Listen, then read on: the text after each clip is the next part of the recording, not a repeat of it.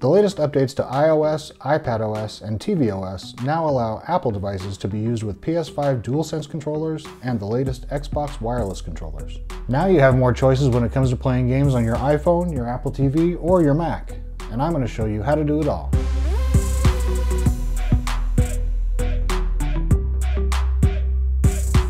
Right here I've got an iPhone, an Apple TV, a MacBook Pro, all of which can play various games from the App Store, Apple Arcade, and even more. Some games benefit from the touchscreen of the iPhone or iPad, but are harder to deal with on the laptop or the big screen. That's where these come in. The DualSense controller for the PS5 and the wireless controller for Xbox Series X and S are now compatible with your iPhone, iPad, Apple TV, and Mac. I'll show you how to connect these controllers with these devices. But before I do, please take a moment to interact with the like button for this video, the subscribe button for the channel, and the notifications icon so you can stay up to date. You'll be glad you did. First things first, since we're using Bluetooth, we need to learn how to put our controllers in discovery mode. For the DualSense controller, with the power turned off, hold down the PlayStation button and the share button for a few seconds until the lights around the touchpad start to flash. For the Xbox wireless controller, hold down the Xbox button to power it on, then press the pair button until the Xbox logo blinks. Now that we know how to do that, we can connect either of these controllers with any of these devices. Let's start with the most obvious choice, at least to me anyway. Using a controller to play games on the Apple TV lets you sit back and enjoy the big screen experience from a comfortable distance. Sure, you can do it using an Apple TV remote, barely. Actually, it's fine for a game like Simon's Cat Storytime, but for a game like Spider, where you need to move and look around at the same time, a controller is really more ideal. To pair a controller with the Apple TV, open the Settings menu, select Remotes and Devices, and under Other Devices, select Bluetooth. You can see here I've been using my DualShock 4 controllers already. When I put the PS5 DualSense controller into Discovery mode, it shows up here. All I have to do is select it, and away we go. And of course, the same thing goes for the Xbox controller.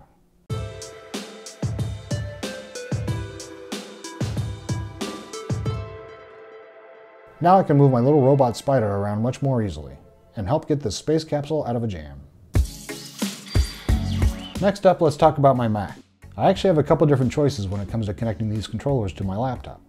One option is to use a cable. Both the DualSense and the Xbox controller have a USB-C port, so just plug it in and go.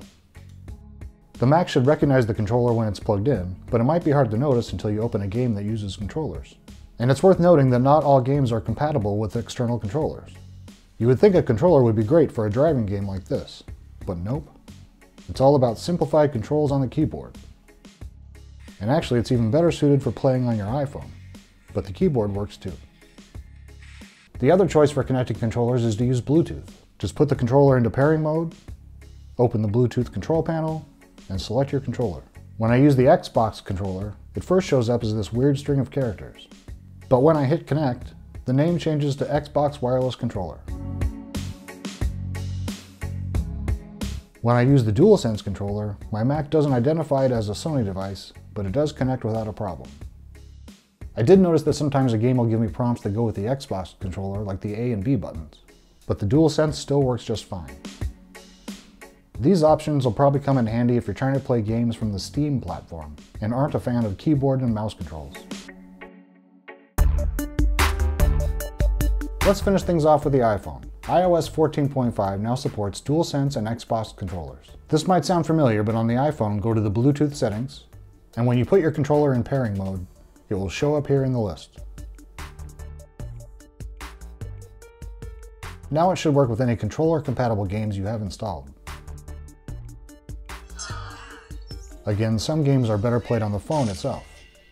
But if you have a controller and a cool gizmo like this, then some games are a lot more enjoyable this way.